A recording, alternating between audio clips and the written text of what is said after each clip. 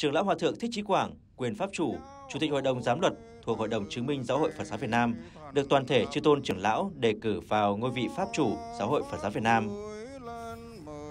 Sau khi dâng lời chúc từ suy tôn Đức Pháp Chủ, Hòa thượng Thích Thiện Nhân đã dâng ấn Pháp Chủ, Hòa thượng Thích Thanh Nhiễu dâng cả xa lên Đức Pháp Chủ, trưởng lão Hòa thượng Thích Chí Quảng. Hôm nay, đại hội chúng ta đặt lên trí tuệ và kỹ cương.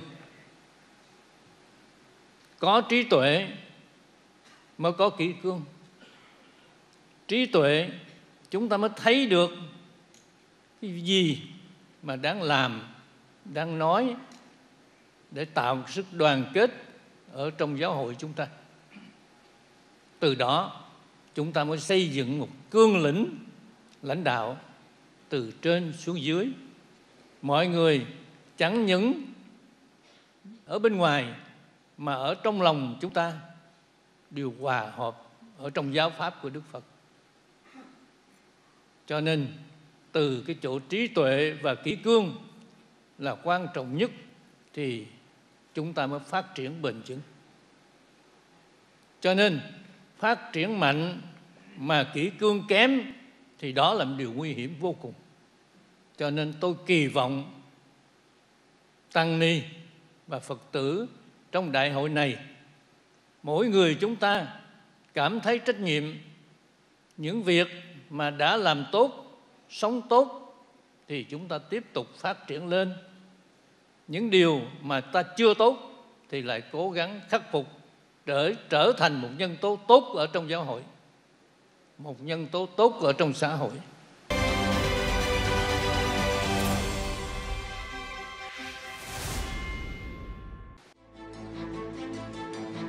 Trưởng lão Hòa thượng Thích Chí Quảng sinh năm 1940 tại xã Phú Mỹ Hưng, huyện Hóc Môn, Gia Định, nay là huyện Củ Chi, thành phố Hồ Chí Minh. Ngài xuất gia năm lên 10 tuổi với Đại lão Hòa thượng Thích Chí Đức tại Tổ đình Huy Nghiêm, Thủ Đức.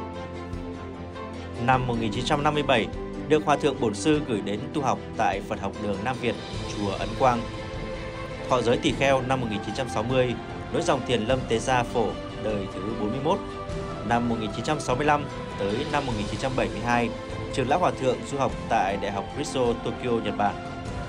Sau khi về nước, trường lão Hòa thượng đã lần lượt đảm trách nhiều vị trí quan trọng trong Tổng vụ Hoàng pháp, Tổng vụ Thanh niên Giáo hội Phật giáo Việt Nam thống nhất, trưởng ban Hoàng pháp Trung ương, trưởng ban chỉ sự Giáo hội Phật giáo Việt Nam thành phố Hồ Chí Minh, trưởng ban Phật giáo Quốc tế Trung ương, phó chủ tịch Hội đồng trị sự, phó pháp chủ Hội đồng chứng minh, phó pháp chủ kiêm giám luật Hội đồng chứng minh, chủ tịch Hội đồng giám luật của Hội đồng chứng minh. Từ tháng 12 năm 2021, trưởng lão Hòa thượng được suy tôn ngôi vị quyền pháp chủ Hội đồng chứng minh Giáo hội Phật giáo Việt Nam. Ngài còn lãnh đạo và tham gia điều hành nhiều cơ sở giáo dục, nghiên cứu, báo chí của giáo hội gồm Viện trưởng Viện Nghiên cứu Phật học Việt Nam, Viện trưởng Học viện Phật giáo Việt Nam tại thành phố Hồ Chí Minh, tổng biên tập báo Giác ngộ.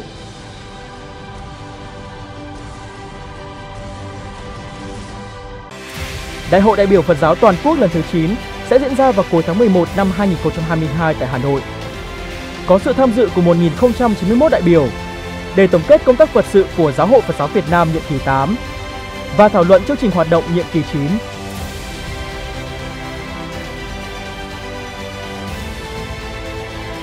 kiên định sự nghiệp Hoàng Dương chính pháp, lợi lạc quần sinh, phụng sự Tổ quốc và nhân loại của Giáo hội Phật giáo Việt Nam.